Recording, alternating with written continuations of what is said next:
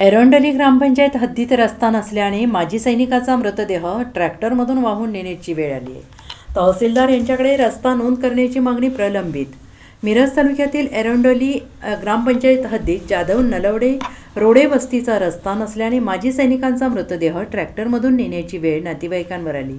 पावसाळ्यामुळे कच्चा रस्ता चिखलमय झालेला असून सुमारे दीडशे ते दोनशे कुटुंबांना जीव मुठीत घेऊन रस्त्यावरून प्रवास करावा लागत आहे. संभाजी जाधव ते जालिंदर रोडे यांच्या घराजवळचा रस्ता ग्रामपंचायतीला नोंद पण. शिवाजी खोळे नारायण जाधव यांच्या घरापर्यंतचा रस्ता ग्रामपंचायतीला नोंद नसल्याने नोंद करण्यासाठी तहसीलदार कार्यालयाकडे प्रलंबित आहे. काही शेतकऱ्यांचा विरोध असल्याने रस्ता अडवण्याचा प्रकार या कुटुंबांना सोसावा लागत आहे. पालकमंत्री सुरेश भाऊ खाडे यांच्याकडे हा रस्ता करण्यासाठीची मागणी येथील शेतकऱ्यांनी केली असून पालकमंत्र्यांनी लवकरात लवकर हा रस्ता मंजूर करून येथील कुटुंबांना दिलासा द्यावा अशी मागणी करण्यात आली आहे. मिरज सलगर हा र- रस्त्यापासून तीन चार किलोमीटर जाणारा हा रस्ता आहे. हा रस्त्यापासून चाळीस पन्नास वर्षा चाळीस वर्षापासून हा रस्ता आहे.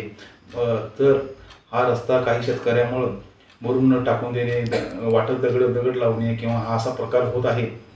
तरी हा प्रस्ताव मोहन शिवजोडे बाळू नजोडे संभा जाधव शिवाजी नजोडे सुनील जाधव सचिन पोद्दार आत्माराम जाधव यांनी आम्ही प्रस्ताव देऊन प्रस्ताव भाऊंच्याकडे दिलेला आहे.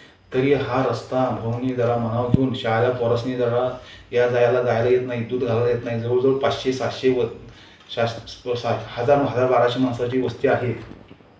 दुसरी गोष्ट परवा तुकाराम रोडे हा आर्मीवाला वारला तरी ती ट्रॅक्टरनं बॉडी ट्रॅक्टरनं नेलं. अशी अशी जर आ- आर्मीवाल्यांची जर अशी जर कंडिशन होत असेल तर कसं करायचं? तरी भाऊनी हा हा विषय मनावर घेऊन तातडीने हा निम्मा रस्ता नोंद आहे. भाऊंच्याकडे प्रस्ताव दिलेला आहे. संभा जाधव ते जालिंदर रोडेच्या घरापर्यंत हा रस्ता नोंद आहे.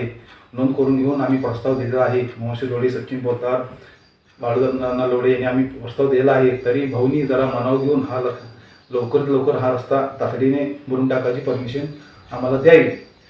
Bureau report S B N Marathi Erandoli.